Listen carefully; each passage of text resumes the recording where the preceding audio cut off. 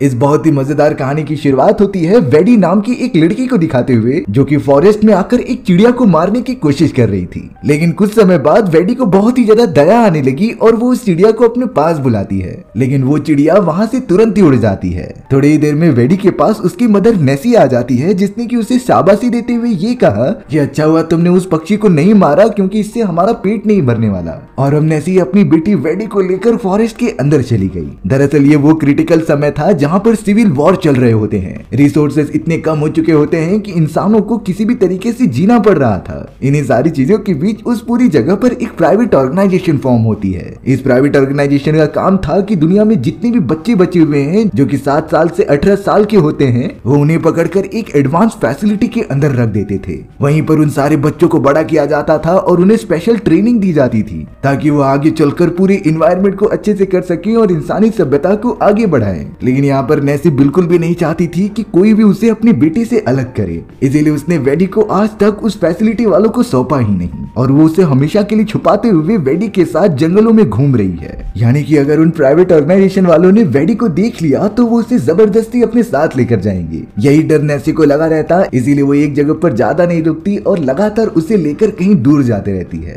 अब यहाँ रास्ते में चलते हुए वेडी का पैर एक ट्रैप के अंदर फंस गया था। उसे बहुत ज़्यादा पेन हो रहा होता है, इसीलिए नेसी तुरंत ही जाकर उसे वहाँ से आज़ाद कर रही थी। कैसे भी करके वो उसका ब्लड रोक देती है और एक सेफ़ जगह पर चली जाती है उसका इलाज करने के लिए। नेसी के पास तो एक खराब वैन मौजूद थी जिसके अंदर वो अपने रातें गुजारते थे। अब वेडी को चोट लगने के कारण उसे आराम की ज़रूरत होती है, इसीलिए वो लगातार वहीं पर सोई हुई थी। तभी अचानक नेसी को आसमान में कुछ आवाज़ें आने लगी, जो और कुछ नहीं, बल्कि उसी प्राइवेट ऑर्गेनाइजेशन का एक ड्रोन होता है, जिनका काम था उन सारे बच्चों के बारे में पता लगाना, जो अभी तक ज़िंदा है। नेसी बिल्कुल भी नहीं चाहती थी कि इन एआई रोबोट्स को मेरी बेटी के बारे में पता चले, और ये लोग वेडी को मुझसे अलग कर दें। इसीलिए नेसी तुरंत ही एक गन लेकर बाहर निकलती है, और उस ड्रोन के ऊपर फायर करने लग जाती है। उसने देखते ही देखते पूरी तरीके से ड्रोन को खत्म कर दिया था। और अब वो मौका रहते वेडी को वहाँ से लेती है और कहीं दूर फॉरेस्ट में चली जाती है। वो लगातार चलते हुए एक नाव के रास्ते से शहर में पहुँच जाती है। यहाँ शहर पूरी तरीके से खाली हो चुका था, क्योंकि आधे से ज़्यादा लोग सिविल वॉर में मारे गए होते हैं और जो बचे हैं, वो अपने घरों के अंदर ही रहते थे।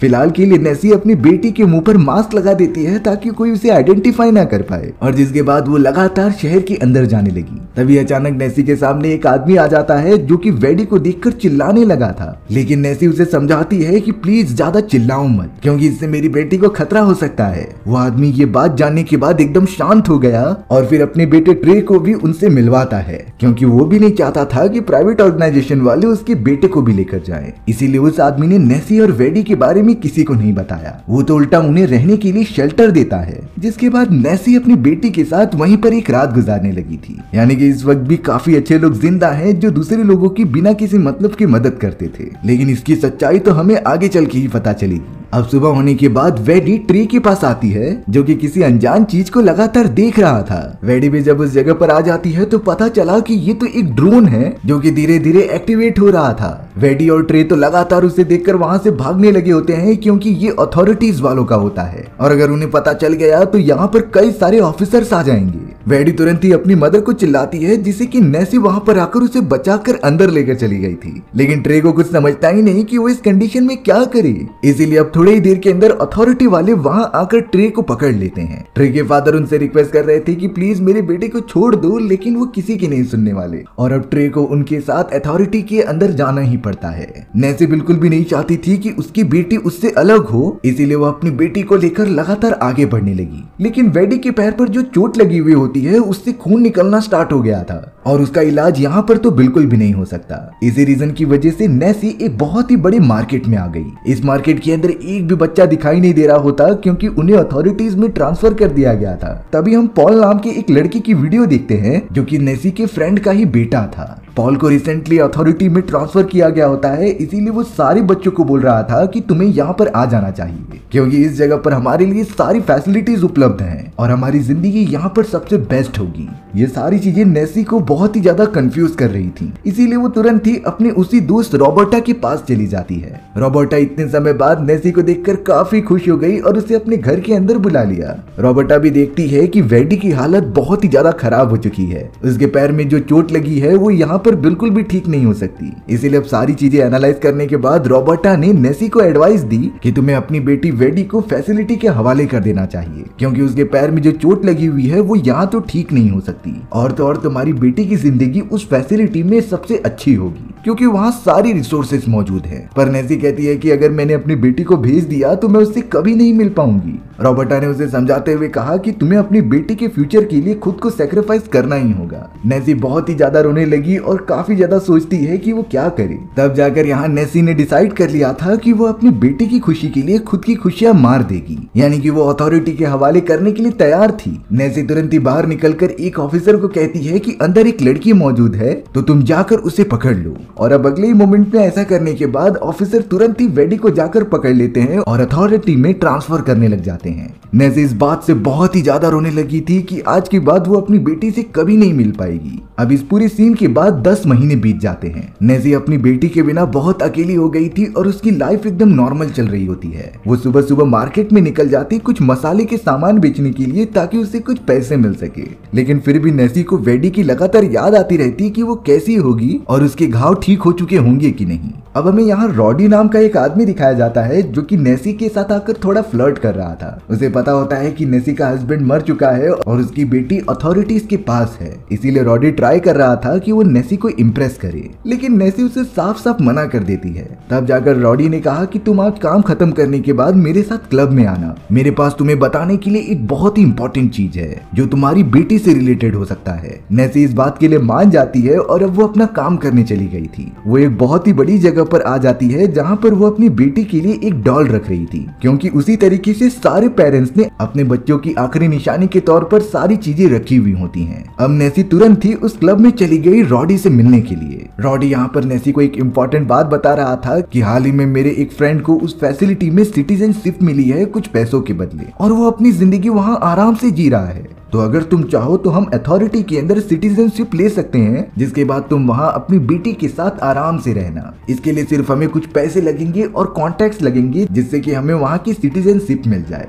नेसी इस बात से बहुत ही ज़्यादा खुश हो जाती है और वो रॉडी पर भरोसा भी करने लगी थी। उसने तो रॉडी को इन सारी चीज़ों के लिए हाँ कर दी थी, जिसके बाद रॉडी अपने कॉन्टेक्ट से इन सारे प्रोसेस को आगे बढ़ाने लगा। अब यहाँ हमें उस फैसिलिटी के अंदर वेडी को दिखाया जाता है, जो की अपनी ज़िंदगी अच्छे से काट रही थी। लेकिन ये सारी चीज़ें होने के बावजूद भी वेडी को अपनी मदर के पास जाना था। इसीलिए वो एक कागज़ के ऊपर इस पूरे बेस कैंप से बाहर निकलने का नक्शा बनाने लग जाती है। उसे जब भी मौका मिलता, वो उसे इंक्लूड कर देती ताकि बाहर निकलने में मदद हो। लेकिन अब वेडी तुरंत ही सोने चली गई क्योंकि वहाँ का वार्डन उन्हें देखने आ गया था। वहीं दूसरी तरफ़ हमें नेसी को दिखाया जाता है, जो कि एक बहुत ही बड़ी फ़ील्ड के ऊपर चल रही थी। तभी अचानक उसे एक घोड़ा दिखाई देता है, इसीलिए वो उसके पास जाकर उसे पकड़ लेती है। थोड़ा और आगे जाने के बाद नेसी ने देखा कि एक पेड़ के नीचे आदमी बैठा हुआ है, जिसका नाम चार्ली था। उस चार्ली ने बहुत सारे बच्चों को अपने पास बुलाया और उसे लेकर कहीं दूर जाने लगा। यहाँ नेसी को लग रहा होता है कि शायद चार्ली उन बच्चों को चोट पहुँचाने या फिर किडनैप करने की कोशिश कर रहा है। इसीलिए वो तुरंत ही भागते हुए वहाँ पर गई और चार्ली को बहुत ज़ोर से पकड़ लिया। वो तो सारे बच्चों को बोल रही थी की तुम यहाँ से भाग जाओ, मैं इसे पकड़ लूँगी। लेकिन तभी पीछे की तरफ़ से लियो नाम का एक आदमी नेसी को पकड़कर उसे बेहोश कर देता है। नेसी को तो अंदाज़ा ही नहीं था कि उसे अब कहाँ लेकर जाया जा रहा है। थोड़ी देर बाद जब उसे होश आया तो वो एक टेंट में अपनी आँखें खोलती है। नेसी के सामने तो बहुत सारे लोग मौजूद थे जो उसे लगातार घूरते ही जा रहे होते हैं। वो नेसी से पूछ रहे थे कि आखिर तुम कौन हो और कहाँ से आई हो? जब नेसी ने इसका जवाब दिया कि मैं वेस्ट डायरेक्शन से आई हूँ, तब वो सभी लोग काफ़ी ज़्यादा शौक हो गए। वो बहुत ही ध्यान से नेसी को देखने लगे थे। नेसी को इन सारी चीज़ों से बहुत ज़्यादा अनकंफर्टेबल होता है, इसीलिए वो वहाँ से जाने लगी। पर तभी एक बूढ़ी औरत नेसी को रोकते हुए बताती है कि वेस्ट डायरेक्शन में एक ऐसा प्लेस मौजूद है जहाँ पर ऑर्गेनाइजेशन वाले कभी नहीं पहुँच सकते। और तुम वेस्ट से आई हो तो तुम हमारे लिए एक सेवियर हो। यानी कि तुम हम सभी को उस वेस्ट डायरेक्शन की जगह पर लेकर जा सकती हो, जहाँ हम और हमारे फैमिली वाले मेंबर्स एकदम सुरक्षित रहें। अब यहाँ नेसी को भी अंदाज़ा हो चुका था कि इतनी रात में वो कहीं नहीं जा सकती। इसीलिए अब नेसी के वहीं रुकने का इंतज़ाम कर लिया जाता है। लियो ने तो उसके लिए बिस्तर भी लगा दिया था, जहाँ पर नेसी तुरंत ही सो गई, क्योंकि वो पहले से काफ़ी ज़्यादा थक चुकी होती है। अब यहाँ आधी रात में नेसी को नींद नहीं आ रही थी, इसीलिए वो खड़ी होकर हर टेंट को चेक करने लगी। तब उसे एक टेंट के अंदर कई सारे बच्चे दिखाई देते हैं जो अभी भी वहाँ मौजूद थे। यानी कि इन बच्चों को अभी तक फैसिलिटी वाले पकड़ कर नहीं लेकर गए हैं। थोड़े ही समय के अंदर वहाँ पर और भी सारी लेडीज़ आ जाती हैं, जिन्होंने जब नेसी का चेहरा देखा तो वो पूछने लगी कि तुम्हारी बेटी भी फैसिलिटी वाले लेकर चले गए हैं कि नहीं? क्योंकि इन सारे बच्चों को देखकर नेसी को अपनी बेटी वेडी की याद आ रही थी। नेसी ने तुरंत ही अपनी बेटी के बारे में उन्हें सारी बातें बता दी कि कैसे फैसिलिटी वालों के हवाले उसे करना पड़ा, ताकि उसकी बेटी वेडी पूरी तरीके से सुरक्षित रहे। अब यहाँ सुबह होने के बाद लियो और बूढ़ी औरत के सामने नेसी को पेश किया जाता है। वो सभी नेसी को कहने लगे थे कि अगर तुम चाहो तो हम सब मदद कर सकते हैं तुम्हारी बेटी को वहाँ से निकालने में। लेकिन नेसी तो कह रही थी कि उसकी बेटी फैसिलिटी के अंदर सुरक्षित है। उसे सारे रिसोर्सेज मिल रहे हैं और उसकी ज़िंदगी अच्छे से चलेगी। लेकिन तब जाकर उस बूढ़ी औरत ने एक रियलिटी बताई। वो कह रही थी कि भले ही ऑर्गेनाइजेशन वाले बच्चों का अच्छे से ख्याल रखते थे, लेकिन वो उनका माइंड वॉश कर देते जिससे कि वो बच्चे अपने मॉम एंड डैड को ही भूल जाते और एक समय के बाद जब वो बड़े हो जाएँगे तो उनका आर्मी में एज अ सोल्जर यूज़ किया जाएगा, जो कि एडवांस ह्यूमंस होंगे और उनके दिमाग में स्पेशल स्किल्स मौजूद होंगी, जो नॉर्मल इंसानों से काफ़ी आगे निकल चुके होंगे। यही रीजन होता है कि इन लोगों में कोई भी अपने बच्चों को ऑर्गेनाइजेशन में नहीं भेजना चाहता था। नेसी इस बात से बहुत ही ज़्यादा शौक हो जाती है और उसे अपने डिसीज़न पर शक होने लगा था। वो अब किसी भी तरीके से चाहती थी कि वो अपनी बेटी को बचा ले। इसीलिए अब लियो कहने लगा कि तुम हमें यहाँ से निकलने में मदद करो और उस वेस्ट डायरेक्शन में लेकर चले जाओ और इसके बदले हम तुम्हारी बेटी को ऑर्गेनाइजेशन में से सही सलामत बाहर निकालने में मदद करेंगे। नेजी को ये सही लग रहा था, इसीलिए उसने वो डील फिक्स कर ली, यानी कि वो उन सभी की मदद करेगी। अब हमें यहाँ पर फैसिलिटी के अंदर वेडी को दिखाया जाता है, जो कि अपनी मदर को बहुत ज़्यादा याद कर रही थी और उसे वहाँ पर जाना था। लेकिन वो फैसिलिटी से कैसे निकले उसे कुछ समझता ही नहीं। तभी वेडी को सामने की तरफ़ वही पक्षी दिखाई दिया, जिससे कि वो पहले पकड़ने की कोशिश कर रही थी। एक बार फिर से वेडी उस पक्षी के पास जाती है, तब वो उड़ नहीं रहा था, यानी कि वो पक्षी भी कहीं ना कहीं वेडी को पहचान पा रहा है। वेडी इस बात से थोड़ा सा खुश हो जाती है कि बाहर की तरफ़ भी उसकी अच्छी दुनिया है। इसीलिए अब रात होने पर जब सभी लोग सो गए थे तो वेडी धीरे से उठ जाती है। वेडी ने जिस हिसाब से मैप बनाए थे, उसी हिसाब से वो बाहर निकलने की कोशिश करने लगी। मैप के अकॉर्डिंग उसने सब कुछ मार्क करके रखा था कि कितने बजे कौन से सैनिक वहाँ पर होते हैं। लेकिन वेडी ने अलार्म पर बिल्कुल भी ध्यान नहीं दिया, जिसकी वजह से वहाँ काफ़ी ज़ोर से आवाज़ होने लग जाती है। इस आवाज़ को सुनकर सारे सैनिक जो की तैनात हुए थे, वो वहाँ पर आकर वेडी को पकड़ लेते हैं और अब उसकी इस गलती के लिए वेडी को जेल में बंद कर दिया जाता है। यानी कि उसने जो भी किया है, उसकी सजा उसे मिलकर रहेगी। अब यहाँ वेडी अपने बिल्डिंग के अंदर आने लग जाती है ताकि वो अपना सारा सामान इकट्ठा कर सके। लेकिन उसने नोटिस किया कि कई सारे लोगों की जानी चली गई हैं और वो लगातार मरते जा रहे थे। वहाँ पर रॉडी भी होता है जो काफ़ी रो रहा था और अब नेसी के वहाँ आते ही रॉडी उसे एक मास्क पहना देता है और बताता है की यहाँ पर बहुत ही खतरनाक वायरस फैल रहा है। इसीलिए फैसिलिटी के कई सारे सोल्जर्स हम सभी को पकड़कर एक वैन में भर रहे हैं, जो की यहाँ से बाहर लेके जाके हमें जान से मार देंगे। इसीलिए अब हम सभी लोगों को काफ़ी बचकर रहना पड़ेगा। नेसी अब अपने मुँह पर मास्क लगाकर रॉडी के साथ आगे बढ़ने लगी। साथ में वो अपनी बहुत ही पुरानी दोस्त रॉबर्टा को भी ले लेती है। इसीलिए वो तीनों लगातार फैसिलिटी की तरफ़ बढ़ने लगे थे, जहाँ पर नेसी अपनी बेटी को बचा सके। पर इनका लक्ष्य शायद इतना ज़्यादा अच्छा नहीं होता, क्योंकि देखते ही देखते कई सारे सोल्जर्स उन सभी को घेर लेते हैं। और अब गन पॉइंट पर लेकर उन तीनों को बस के अंदर ट्रांसफ़र किया जा रहा था, जिसके अंदर बाकी लोग मौजूद होते हैं। यानी कि उनकी इन्फेक्टेड ना होने के बावजूद भी उन्हें शहर के बाहर छोड़ दिया जाएगा। एक एक करके सारे लोगों को बस में डाल दिया जाता है। पर तभी अचानक रॉबर्टा अपनी बेटी पॉल को देखती है, जो कि एक सोल्जर बन चुका था और गन लेकर सारे लोगों को यहाँ से निकाल रहा था। रॉबर्टा बहुत ही ज़्यादा चिल्लाने लगी और अपने बेटे के पास जाने की जिद कर रही थी। इसीलिए ब्रॉडी ने वहाँ पर एक स्मोक ग्रेनेड फेंक दिया, जिससे कि चारों तरफ़ धुआँ फैलने लगा। इसी मौके का फ़ायदा उठाकर रॉबर्टा तुरंत ही भागते हुए अपने बेटे पॉल के पास जाने लगी। लेकिन यहाँ पर उसका बेटा पॉल, जिसका ब्रेन वॉश कर दिया गया था, वो अपनी मदर को पहचानता ही नहीं, और वो सिंपली कह रहा था कि अपने स्टेप पीछे रखो, नहीं तो मुझे गोली चलानी पड़ेगी। रॉबर्टा तो बिल्कुल भी नहीं समझ पा रही होती कि उसका बेटा ये क्या कह रहा है। लेकिन जब रॉबर्टा अपने बेटे पॉल से मिलने के लिए और पास आती चली गई, तब पॉल ने बिना कुछ सोचे समझे उसके ऊपर गोली चला दी और अपनी मदर को जान से मार दिया।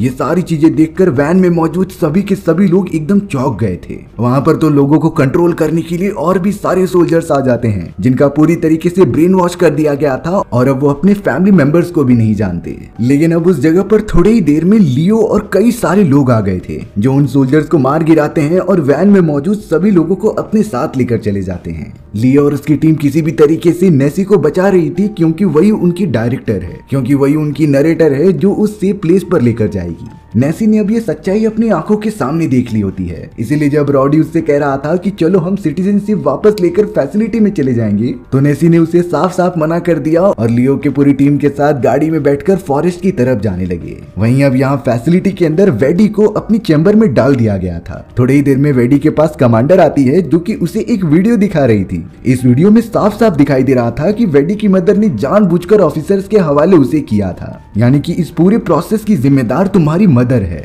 ये चीज़ें बताने के बाद और देखने के बाद वेडी के मन में अपने मदर के खिलाफ एक दुर्भावना पैदा होने लग गई। वो तो अब उनके पास जाने की बिल्कुल भी सोचती ही नहीं। वेडी को सच में इस बात से बहुत गुस्सा आ रहा था। लेकिन उसे क्या पता था कि ये उसका ब्रेन वॉश करने की टेक्निक है। अब वेडी भी ट्रेनिंग करना स्टार्ट कर दे रही थी और उसे सबसे बेस्ट सोल्जर बनना था। सबसे पहले सारे बच्चों को गन लोड करने की प्रैक्टिस कराई जाती है, जिसके अंदर वेडी ने सबसे पहले गन लोड कर दिया और उसे फायर भी करने लगी। लेकिन तभी एक दूसरी लड़की खड़ी होकर कहने लगती है कि वेडी ने ज़रूर चीटिंग की है। इतनी जल्दी कोई भी गन लोड नहीं कर सकता। इस बात से वेडी को बहुत गुस्सा आया और उस लड़की को जाकर बहुत मारने लगी। कमांडर तो ये सारी चीज़ें सिर्फ़ देख ही रही थी क्योंकि उसे सारे बच्चों को इसी तरीके से एग्रेसिव बनाना था। और अब इस इंसिडेंट के बाद कमांडर ने वेडी का लेवल बाकी बच्चों से अलग कर दिया होता है। यानी कि वो बाकी बच्चों से बहुत ही ज़्यादा जल्दी अपग्रेड कर रही है। नेसी तो वापस लियो और उसके सभी साथियों के पास आ गई थी और अपना प्लान बताती है। उसने कहा कि हमें जरा भी देरी करने की ज़रूरत नहीं। उनका प्लान सिंपल था कि जल्द से जल्द नेसी की बेटी को आज़ाद कर दिया जाए और नेसी हमें वेस्ट की तरफ़ लेकर जाएगी जहाँ पर वो सुरक्षित जगह है। इसीलिए अब आधी रात में नेसी के साथ चार्ली और लियो चले जाते हैं फैसिलिटी की तरफ़। वो फैसिलिटी के एक पीछे के दरवाजे से अंदर घुसने का प्लान बना रहे थे। चार्ली अपना लैपटॉप लेकर कैमरा हैक करने के लिए वहीं बैठ जाता है और वहीं दूसरी तरफ़ लियो नेसी के साथ लगातार फैसिलिटी के अंदर जाने लगा था। धीरे धीरे जैसे ही वो दोनों आगे बढ़ते हैं, तभी उन्हें एक सिक्योरिटी गार्ड दिखाई दिया। लियो सिक्योरिटी गार्ड का वेट करने लगा की कब वो अपने सिक्योरिटी सिस्टम से हटेगा। सिक्योरिटी गार्ड जैसे ही वहाँ से हटता है, तभी लियो ने उस सिक्योरिटी सिस्टम को चार्ली के सिस्टम से जोड़ दिया था। अब चार्ली को पूरी तरीके से एक्सेस होता है वहाँ के सारे कैमरास का, जिसे कि वो हैक करके सबसे पहले बंद कर देता है। अब यहाँ लियो और नेसी किसी भी तरीके से आगे बढ़ने लगे थे अपनी बेटी वेडी को बचाने के लिए। उन दोनों को बहुत ही सावधानी से आगे बढ़ना पड़ेगा, क्योंकि अगर सिक्योरिटी ऑफिसर्स को ये पता चल गया, तब वो हम दोनों को पकड़कर जान से मार देंगे। लेकिन यहाँ नेसी ने डिसाइड कर लिया कि चाहे कुछ भी हो जाए, वो अपनी बेटी को बचा कर रहेगी। एक चैम्बर में आने के बाद लियो नेसी से कहता है कि तुम अंदर जाकर अपनी बेटी को ढूंढो और मैं यहाँ पर सिक्योरिटी ऑफिसर से फाइट करता हूँ। नेसी तुरंत ही उन चैम्बर्स में अपनी बेटी वेडी को ढूँढने लगी। तभी कुछ ही देर के अंदर फाइनली उसे अपनी बेटी मिल जाती है। नेसी इतने समय बाद अपनी बेटी को देखकर काफ़ी खुश हो रही थी। पर वेडी तो उठकर यही पूछ रही होती है कि आपने मुझे उन ऑफिसर्स के हवाले क्यों किया? नेसी ने बहुत इमोशनल होकर कहा कि मुझे सिर्फ़ तुम्हारी फ़िक्र थी और यहाँ पर सारे रिसोर्सेज तुम्हें अवेलेबल हो सकते थे। इसीलिए मैंने तुम्हें फैसिलिटी के अंदर जाने दिया। वेडी अपनी मदर की ये सारी बातें सुनकर पिघल जाती है और उसके गले लग जाती है। उसने अपनी मदर को माफ़ कर दिया था, जिसके बाद वो दोनों वहाँ से बाहर निकलने लगे। नेसी वेडी के साथ निकलते हुए लियो को देखती है, जो काफ़ी घायल पड़ा था और उसने दो सोल्जर्स को मार गिराया होता है। तभी अचानक चार्ली उन्हें खबर दे रहा था कि तुम्हें बाहर निकलना पड़ेगा, क्योंकि फैसिलिटी के अंदर कई सारे सोल्जर्स लगातार घुसते जा रहे हैं और इतने सोल्जर्स का अकेले फाइट करना उनके लिए बिल्कुल भी इम्पॉसिबल हो सकता था। लियो कंडीशन को समझता है, इसीलिए उसने नेसी को कह दिया कि तुम अपने बेटे को लेकर जल्द से जल्द बाहर निकलो। मैं इन सारे सोल्जर्स का ध्यान भटकाता हूँ। लियो जब लगातार दूसरी तरफ़ गया, जहाँ से आवाज़ें आ रही थी तो उस जगह पर सोल्जर्स नहीं, बल्कि बड़े बड़े ड्रोन होते हैं। लियो को लगने लगा कि शायद ये ड्रोन्स अब उसे जान से मार देंगे। लेकिन अगले ही मोमेंट में अचानक नेसी वहाँ पर आ गई और उस ड्रोन के ऊपर फायर करने लगी, क्योंकि वो इस तरीके से लियो को मरने के लिए नहीं छोड़ सकती थी, जिसके बाद नेसी लियो को लेकर तुरंत ही वहाँ से दूर भाग रही होती है। वेडी भी यहाँ मौका मिलते ही चैम्बर में मौजूद अपने ही जैसे कई सारे बच्चों को बाहर निकाल लेती है, क्योंकि उन्हें भी एक तरीके से कैद करके ही रखा गया था। बाहर का रास्ता साफ़ था, इसीलिए वो सारे लोग जल्द से जल्द निकल जाते हैं। सारे के सारे बच्चे भी अब आ गए थे। दूसरी तरफ़ तो उस बूढ़ी औरत के सारे मेंबर्स होते हैं जो कि सोल्जर से फाइट करने के लिए रेडी हो चुके थे। कुछ ही देर के अंदर लियो चार्ली नेसी और उसकी बेटी के साथ सारे लोग मौजूद हो जाते हैं एक जगह पर। कुछ ही देर के अंदर लियो चार्ली और नेसी अपनी वैन के अंदर वहाँ पर भी पहुँच जाते हैं। वेडी और फैसिलिटी में मौजूद सारे बच्चे भी आज़ाद हो गए थे। लेकिन वो फैसिलिटी वाले सैनिक आसमान में एक रेड फ्लेयर मार देते हैं, जिसे फॉलो करते हुए कई सारे ड्रोन्स उनकी तरफ़ बढ़ रहे थे। ये ड्रोन्स काफ़ी ज़्यादा हाईटेक थे और इनके अंदर काफ़ी वेपन्स भी मौजूद होते हैं। अब देखने से लग रहा था कि सारे ड्रोन्स उन लोगों के ऊपर फायर करना स्टार्ट कर देंगे। तभी वेडी उनके सामने आ जाती है और वो जिस तरीके से पक्षी को कंट्रोल करने की कोशिश कर रही थी, उसी तरीके से ड्रोन को भी करती है। साथ ही साथ वो कुछ मंत्र पढ़ रही थी, जिससे कि वो सारे ड्रोन सैनिकों की बात मानते ही नहीं। वेडी तो उनसे लगातार यही कह रही थी कि हमारे ऊपर हमला ना करें और जो गलत है उन्हें सजा दे। अचानक सारे के सारे ड्रोन आउट ऑफ़ कंट्रोल हो जाते हैं और वेडी और उसके साथियों के ऊपर हमला करने के बजाय सैनिकों पर हमला करने लग जाते हैं। सारे के सारे सैनिक अपनी जान बचाकर फॉरेस्ट के काफ़ी अंदर चले गए थे। लेकिन एक सैनिक गन निकालकर तुरंत ही फायर करने लग जाता है वेडी के ऊपर। लेकिन नेसी ऐसा कैसे होने देती? वो तुरंत ही अपनी बेटी के सामने आ जाती है और उसके कंधे पर गोली लग चुकी थी, जिसके बाद लियो और उसके सभी दोस्तों ने उस अकेले सोल्जर को भी जान से मार दिया। ये अच्छी बात हुई कि गोली उसके कंधे पर लगी, इसीलिए नेसी की जान नहीं गई। लेकिन अब सारे लोगों को विश्वास हो चुका था कि वेडी के पास कुछ सुपर पावर्स हैं जिससे कि वो उन लोगों में सबसे ज़्यादा स्पेशल हो गई थी। और अब सभी के मन में एक होप जागने लगी कि वेस्ट में जो सेफ़ जगह है, वहाँ पर हमें वेडी बहुत ही अच्छी तरीके से लेकर जा सकती थी। और अब वेडी नेजी और गाँव के सारे लोग निकल पड़े थे वेस्ट की तरफ़, जहाँ पर वो अपनी ज़िंदगी बड़े आराम से गुजार सकते थे। और हमारी ये कहानी यहीं पर खत्म हो जाती है। सो व्यूवर्स आपको ये स्टोरी कैसी लगी? कमेंट सेक्शन में बताना भूलना मत। और अगर आपको मेरा एक्सप्लेनेशन एक परसेंट भी अच्छा लगा होगा ना तो वीडियो को लाइक एंड चैनल को सब्सक्राइब ज़रूर ज़रूर कर देना। मिलते हैं इसी तरीके की मज़ेदार वीडियोस में तब तक के लिए बाय।